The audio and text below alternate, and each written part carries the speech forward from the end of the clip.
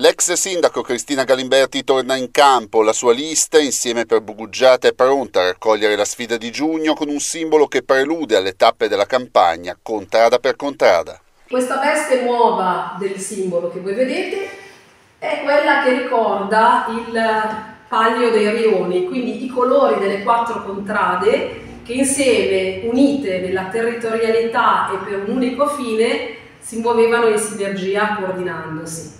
Quello che noi vogliamo fare è proprio lavorare per il Paese sempre in stretto dialogo e comunicazione con le persone per questo forte legame che abbiamo con il territorio.